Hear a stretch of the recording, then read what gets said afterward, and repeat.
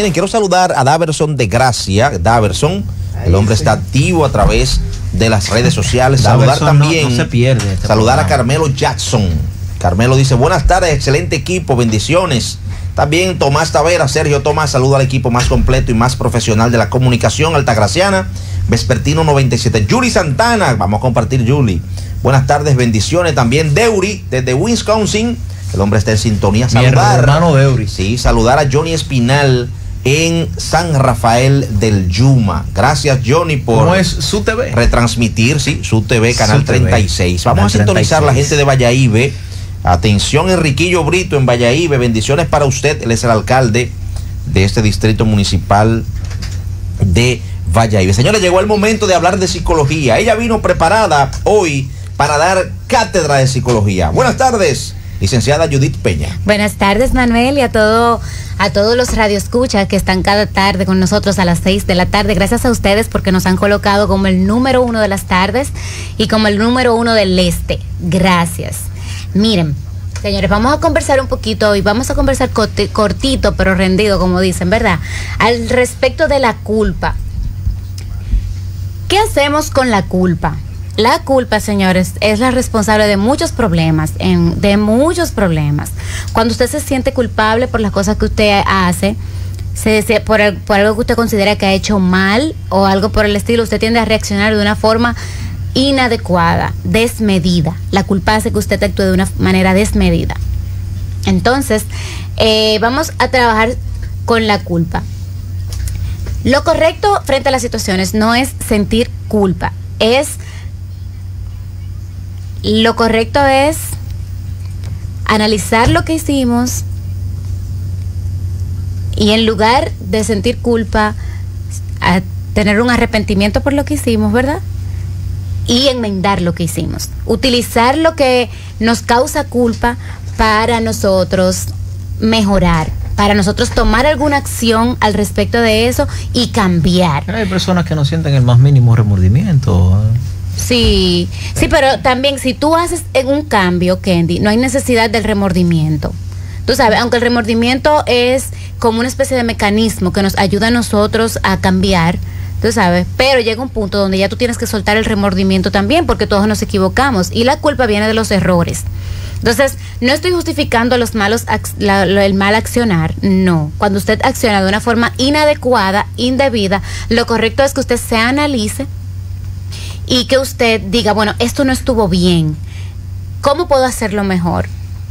No usted sentarse, porque hay gente que se pasa la vida entera a llorar, ay, yo hice esto mal, yo hice esto mal y a matarse de la culpa. No, entonces usted no está haciendo nada, la culpa no le permite avanzar. Mientras usted está sintiendo culpa, usted no avanza. Inmediatamente usted ejecuta, usted se arrepiente y dice, no, pero lo que yo tengo que hacer es esto, entonces usted comienza a avanzar. Entonces tenemos, señores, que soltar la culpa. Otra forma de la culpa también, y antes de eso quiero darle un, mandarle un abrazo caluroso en España a Daverson, que siempre eh, nos sintoniza y que, que siempre me, me, manda esos mensajes que me animan muchísimo. Un abrazo, Daverson. Otro tema, señores, al respecto de la culpa es cuando estamos teniendo dificultades en la casa o en o situaciones de pareja, solemos eh, utilizar el término tú tienes la culpa, tú tienes la culpa, tú hiciste esto, tú hiciste aquello, y eso no nos permite avanzar. Señores, donde quiera que metamos la culpa, la culpa no nos va a permitir avanzar. Si usted le dio una pela bien duro a su hijo, y después usted se siente, usted se siente mal, usted se siente culpable porque usted siente que usted le hizo un daño a su hijo de esa pela tan dura que le dio. Mientras usted está sintiendo culpa, usted sabe lo que usted hace, que usted le permite hacer cosas de más e indebidas a sus, a sus hijos. Pero inmediatamente usted se arrepiente de eso y dice, wow, qué pela le di, no vuelvo a darle una pela como esa a mi hijo. La próxima vez lo que voy a hacer es sentarme a hablar con él o lo que voy a hacer es ponerlo a escribir al respecto para que él aprenda de lo que hizo o inmediatamente usted toma acción y comienza a reformular, ya la culpa pasa a un segundo lugar. Entonces ahí ya usted está accionando. Pero mientras usted solamente tiene culpa, usted sabe lo que usted va a hacer, lo único que va a hacer es consentir a ese hijo por lo que usted hizo, usted considera que hizo mal. Entonces lo mismo pasa, por ejemplo, en las relaciones de pareja, en las relaciones de amistad. Si usted cometió un error en su relación de pareja o si tienen alguna situación, no comiencen, señores, a buscar culpables, porque si es buscando culpables, miren, ustedes van a dar vuelta en círculos toda la vida alrededor del culpable. No, la solución es usted sentarse a conversar y junto a su pareja usted buscar soluciones. Está bien, no importa cuál sea el culpable, vamos a decir. No importa si el culpable eres tú, si el culpable soy yo. Hablemos desde lo que yo siento.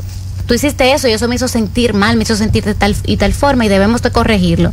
Entonces, ¿qué tú estás dispuesto a hacer para corregir esto? ¿Y qué estoy dispuesto a hacer yo? Porque aunque el otro haga cosas, pero también nosotros podemos aportar hasta con nuestro, a nuestra actitud. Dice, dice licenciada Daverson, ¿y qué pasa cuando te culpan y te sientes mal? Muy buena la pregunta. Dice Daverson Sí. desde allá. Daverson, un saludo hermano. Claro que sí, me encanta, a mí me encanta porque Daverson hace unas preguntas bien puntuales e importantes y eso es así. Muchas veces también nos culpan de, de cosas y nos hacen sentir mal, pero ustedes saben por qué nos hacen sentir mal, porque nosotros tomamos esa culpa y la aceptamos. Entonces, lo primero que tenemos que hacer con las cosas es aclarar. Si te culpan de algo o si te, te acusan de algo, lo primero es que si usted realmente tiene eh, razón, o sea, si la persona que lo acusa tiene razón, usted lo correcto es que usted acepte lo que le corresponde de esa culpa. Por ejemplo, eh, Manuel Aníbal, tú hiciste tal cosa. Lo correcto es que Manuel se analice y diga, contrale, verdad, yo lo hice.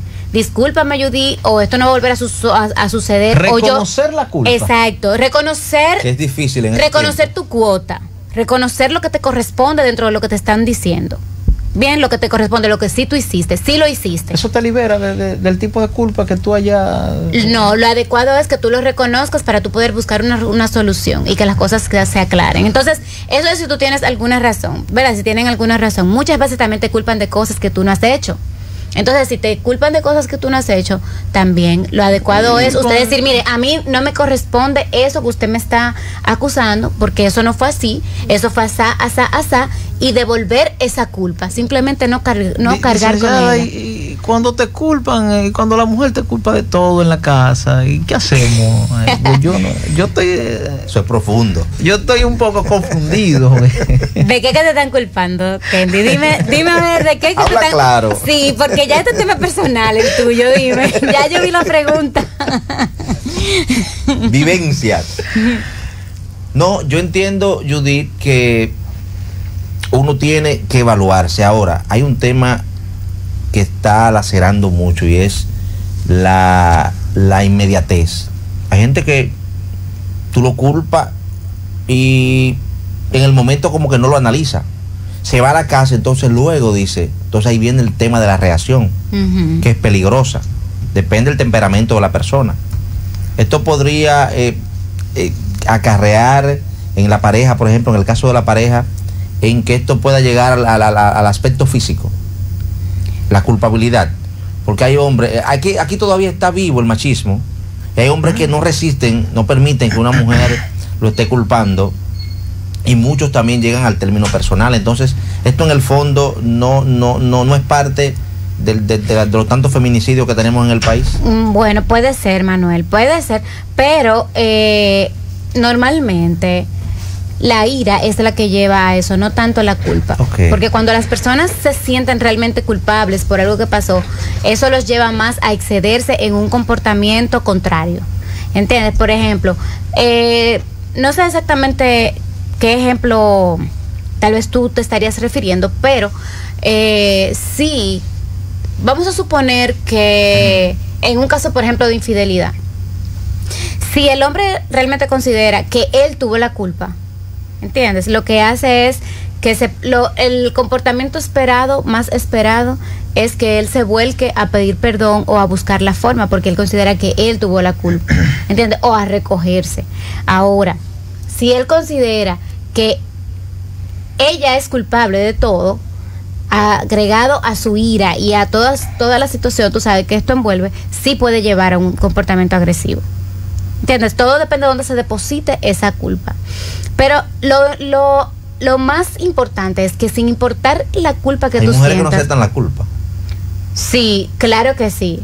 Pero por eso dije, lo importante no es cuando hay dificultades, no es porque la culpa lo que hace es que acusa. ¿Entiendes? Lo correcto no es acusar, sino buscar una solución, no buscar culpables, sino buscar una solución, estando ambos o todos los involucrados en la situación dispuestos a aportar dentro de esa situación. Cuando hay disposición. Exacto. Muchas veces la culpa te lleva a la ira. Claro, claro Entonces que sí. ya ahí el tema se pone en color gris. Sí, pero todo, todo depende la, la forma. Porque, por ejemplo, cuando tú te culpas por algo, tú te molestas contigo mismo. La reacción va a ser diferente a cuando tú culpas a otro y cuando tú acusas a otro. Entonces ahí la ira va a ser contra el otro. Preguntan, es así. preguntan acá en el Facebook, Daverson, el tema en el trabajo, te culpan y te pones rebelde. ¿Tienes miedo a perder tu trabajo? ¿Qué se hace ahí? Sí, por supuesto. Porque si te pones rebelde, te van a votar. ¿Tú supiste que sí? Que, que te van a dar. te Un tema de Te van a dar. ¡fuip! Te botan y te dejan No, sin hay veces que Daverson. tú, si es tu superior, y muchas veces el superior no tiene ese manejo eh, en, en el tema de, de trato, de trato. Hay muchos que son jefes superiores a ti, pero están ahí por cuña. Sí. Muchas veces tú tienes la razón, pero tienes que aguantarte, tragarte e- esa culpa e irte a tu hogar tranquilo. Yo creo que yo creo que todas las situaciones abordadas de una forma adecuada se pueden manejar. Se pueden manejar. Y sobre todo también, yo creo que incluyendo en el trabajo, nosotros debemos de exigir que se nos respete a la altura de lo que somos y de lo que damos. ¿Entiendes? Sin importar. Porque cuando tú haces eso, Manuel, tú también, tú también marcas límites. Tú marcas límites. Tenemos llamada. Tenemos llamada. Nuestra diputada Ide López. Buenas tardes, diputada. Ah, para que ustedes vean que desde que estoy en web, este es mi Ah. Un abrazo. Qué gusto escucharte y un saludo. Un abrazo, literalmente. Bueno, miren, realmente, como decimos los dominicanos, que de músicos, poetas y locos, todos tenemos un poco. Y nosotros los maestros, que tenemos que somos más psicólogos de la cuenta, yo puedo decir algunas cosas interesantes de este tema. Miren, en un país como el nuestro, que es muy violador de derechos, Mm. cuando tú reclamas, lo que hacen es así mismo, como ustedes bien lo han dicho, con mucha certeza y seguridad, que lo que hacen es que te cancela. Muchas veces la gente se queda callado, asumiendo culpas de algo que no hizo. Y ese es uno de los momentos, yo creo, más difíciles en el ser humano, porque Mm. se llena de mucha impotencia. La Mm. impotencia luego trae resentimiento, la impotencia luego trae muchas raíces de amarguras y frustraciones. Entonces ahí este, nosotros debemos aprender como a tener un poquito de, digamos, yo creo sería inteligencia emocional el tema, para aprender a alar, aprender a estirar y así, aprender a agarrar y aprender a soltar. Pero es muy duro, de verdad, cuando a ti te culpan de algo que tú realmente no lo has hecho. Claro. Más, si tú lo has hecho, bueno, tú te quedas callado si no lo quieres admitir, si la culpa es muy grande, si el pecado es muy grande, pero tú sabes en el fondo que lo hiciste. ¿Entiendes? Tú Claro. "Cónchale, si yo lo hice, yo le dije esta palabra o yo hice tal cosa, tú sabes que lo hiciste. Pero cuando tú sabes que no lo hiciste y eres acusado, sobre todo como dice Daverson ahí en el Facebook, en esos trabajos uno aguanta muchísimas cosas. Yo creo que es como dice Manuel, tener la suficiente madurez para retirarse, saber cuándo debe retirarse y después Para en su saber momento- lidiar con eso. Sí, saber lidiar. Y yo creo que en su momento las cosas pueden aclararse. Y bueno, Exacto. siempre yo tengo una concepción, señores. Yo tengo un a Dios medio loco. Yo todas las cosas se las pongo, mira Dios mío, mira Dios mío, tiene que hacer justicia. Porque si la Biblia misma dice que el vengador es el Señor, nosotros tenemos que agarrar esa palabra, pero agarrarla con fe y decir, mira Señor, da la venganza tú, hazla tú, hazla tú, y así con fe. Nosotros vamos a tener resultados. A mí se me ha dado y yo pienso que también se le puede dar a los otros. Un abrazo. les diputada, diputada, eh, Claro. brinde un, un minutito más que la, Sí, la sí. vimos, la vimos firmando eh, el folleto del diputado Pedro Botello donde pide el desembolso del 30% de las AFP. Sí, nosotros estamos pidiendo eh, ahí la recapitalización de los fondos, pero más bien nosotros estamos eh, apostando a que podamos reformular la ley. De manera, como siempre hemos dicho, que los administradores de esos fondos de pensiones no sean tan ominosa, ofensiva y poderosamente millonarios, mientras que los que cotizan estábamos eh, la mayoría hundidos en la pobreza. Sobre todo en este tiempo de pandemia, muchachos, ustedes saben que las necesidades han sido reales, como yo se lo he explicado y lo he explicado siempre. Entonces, bueno, tuve la oportunidad, oportunidad de firmarlo, ya yo estaba en un listado por ahí. Y ustedes saben que si alguien lo iba a firmar de primero era yo, porque en la época de campaña ustedes saben que abracé ese proyecto y porque creo en él. Y ya ustedes saben que algunos eh, me pusieron ahí y que no lo han firmado, me dijeron que, yo estaba en esa lista negra. y yo, yo, bueno. Segura de usted. Usted lo firmó, eh, la vimos. Segura de usted. No, me reí muchísimo, que Botella me dice que, Aide, te traje el proyecto. Eh, entonces le dije, claro, mijo, ¿dónde está? Te lo llevo tú por un. Él me llamó que pero digo, ay, llévamelo para allá. Y allá me lo llevo, yo lo firmé, porque ya hasta pensé ir a su, a su oficina. Y gracias a Dios ahí. Entonces me lo dejó para que yo siguiera buscando la firma con los demás diputados y lo logré ahí, ya tú sabes que me muevo muchísimo y casi la mayoría que lo firmaron. Yo me lo dejo a mí, te, te, lo encargo, te lo encargo y ya yo me hice cargo de eso. Pero claro que es interesante, seguimos luchando y seguimos echándose adelante muchachos. Como dice la canción, se hace camino al andar. Así es difícil, ma, eh, te lo cuento de, de ahora por experiencia, porque ustedes saben que cuando uno está en el lugar, cuando uno no está, uno puede opinar fríamente y alegremente, pero ya cuando tú estás metido ahí en el bollo, óyame, ayer por ejemplo, para rápidamente cerrar, que... Ahí se sabe la yuca que Guaya Martín. Óyeme, se maja agua en pilón y no bulto, señores, óyame, miren. El, un diputado, Leonardo Aguilera, Leonardo, usted estableció la reformulación de la ley 8701, señores, que es sobre la el régimen de, de, de la seguridad social Ay, que sí. establece las pensiones y jubilaciones. Bueno, desde el mismo momento yo estuve pidiendo la palabra y al final, bueno, el presidente no me la dio. Usted sabe lo que yo pienso de eso, casi toda mi vida. Malvado Alfredo ese- Pacheco. ese malvado, sí, le dije, no se apure, malvado, porque yo se lo dije. No se crea que yo me quedé con esa. Entonces, lo que le quiero decir es que a mí me sensibiliza mucho ese tema, porque ustedes saben que como maestra, siempre luchamos para que los maestros tuviésemos una pensión digna, primero el sueldo digno y después una pensión. Y sobre todo, señores, que cuando los productos de primera necesidad suben, nosotros los pensionados tienen el mismo sueldo. Pero lo que es peor, señores, en un régimen como el nuestro, que cuando la gente cierra te quitan el seguro, entonces eso es un despropósito y sobre eso eh, estamos trabajando. Así que les mantengo informados cuando me toque ir al programa, porque ahora le toca a Judy. Ay, un beso, un beso para todos, pero no carguemos con culpa si la podemos flojar. Claro. Y airaos, más no pequéis, Claro. Manuel. Amén. Y Candy, para que no te echen la culpa de todo. Así es. Un abrazo ahí de. Siempre acertada y de sus declaraciones. Eh, señores, miren. Palabras eh, finales de Judith. Sí, por último, con respecto a la culpa, me encantó la intervención de Aide, porque, y, y esto viene también a raíz de la pregunta de Daverson y de la amplitud que hizo Daverson. Eh, es así, muchas personas cargan con, cargan con una culpa que no le corresponde, pero eh, me, eh, me gustó mucho esa palabra que utilizó, que es de una canción, Aide, que dice, marinero, no hay camino, se hace camino al andar, ¿verdad? Porque es. estamos hablando de las condiciones de desigualdad en las que unos, en las que muchas, muchos trabajadores eh, ejercen en este país y, y entonces tienen que quedarse callados, por ejemplo, para poder conservar sus trabajos que los necesitan. Sin embargo, haciendo es como aprendemos y haciendo también es como vamos a hacer que los cambios lleguen. Si nosotros nos quedamos, no porque eso siempre ha sido así, eso es así, si nos quedamos ahí, jamás va a haber un cambio. Entonces, por algún lugar tenemos que comenzar. Lo adecuado es, si a usted lo culpan, si usted se siente mal, se siente culpable, por cualquier razón. Si usted se siente culpable, busque la razón de esa culpabilidad. Trate de solucionarlo, trate de ejecutar un plan para que no vuelva a suceder lo que lo hace sentir culpable. Pero si a usted lo están acusando injustamente y le están cargando una culpa que usted no, debe de llevar, busque el momento adecuado, busque las palabras adecuadas y hable al respecto. Busque una solución. Siempre hay una salida.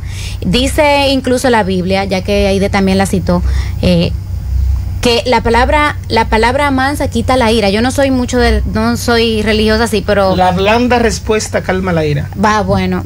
Qué lindo que lo dijiste, más bonito así su- suena. Entonces, la blanda respuesta quita la ira, señores. Hay que buscar la forma de solucionar nuestros temas, no quedarnos con nuestras emociones agolpadas en el corazón, porque de alguna forma salen y salen en forma en manera de enfermedades. Entonces, si usted se siente mal, si usted se siente con culpa, trabaje eso de la forma que sea, pero trabájelo. Bueno, excelente participación de la licenciada Judith Peña en Vespertino 97. Señores, nos quedamos acá.